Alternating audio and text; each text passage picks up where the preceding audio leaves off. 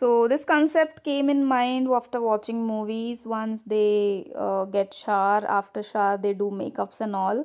So let's begin with this makeup look.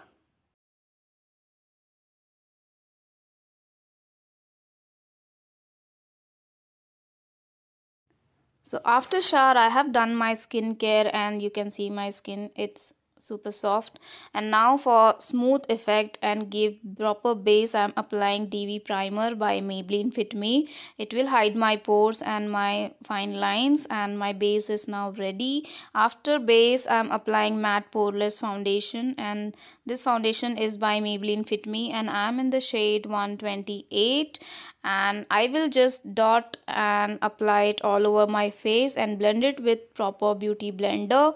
This beauty blender is from pack and uh, I'm just blending my uh, foundation properly. Blending is very important because once you will blend your foundation just leave it for 5 to 10 minutes. Let the foundation dry on your skin so that it doesn't makes your skin looks cakey.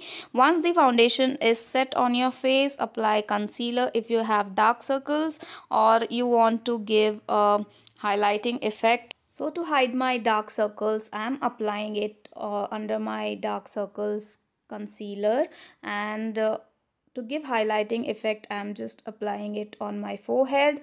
And as a eyeshadow primer also. I am applying it on my upper eyelid to give proper eyeshadow effect and as a and create as a base on my uh, upper eyes. So this is uh, optional. If you have dark circle you can go for concealer and hide it. And uh, if you don't have base primer for your eyeshadow you can also apply concealer on your top of the eyes as a uh, primer. So after this i'm just uh, applying compact to cover all this and uh, we'll just dust it out all the excess powder that is on my face. And to set my base makeup i'm using makeup setting spray and i will leave my face for 5 minutes and after this i'm going to fill out my uh, eyebrows. And for eyebrows i have used swiss beauty palette and i'm in the shade uh, black and brown. Both the shade i'm mixing and just filling my eyebrows. And after that uh, for eyeshadow i'm using very light pink shade from i think insight cosmetic palettes. And in from that palette i'm again using this dark maroon shade to give transition shade as a base on my eyeshadow. I want to give um, red and golden effect. So for golden uh, effect i'm giving it on my bowl area till crease line just to give contrast effect. And I'll just leave this eyeshadow as it is.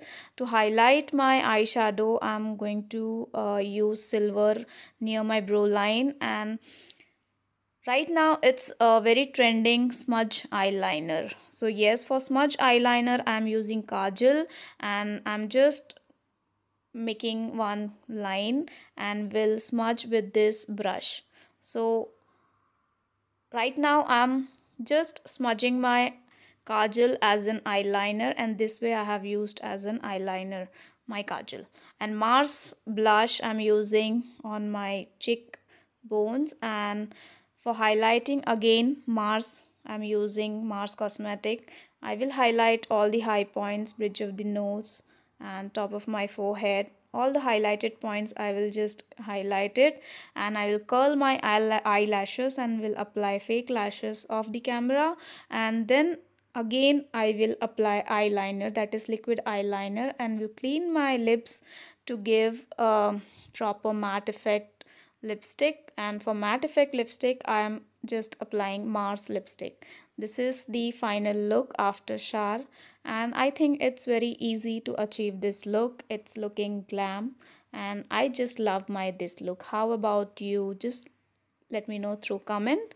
And if at all you need more makeup videos let me know through comment. And do subscribe my channel for more such makeup videos now we'll meet you in my next video. Till then take care of yourself. Bye bye bye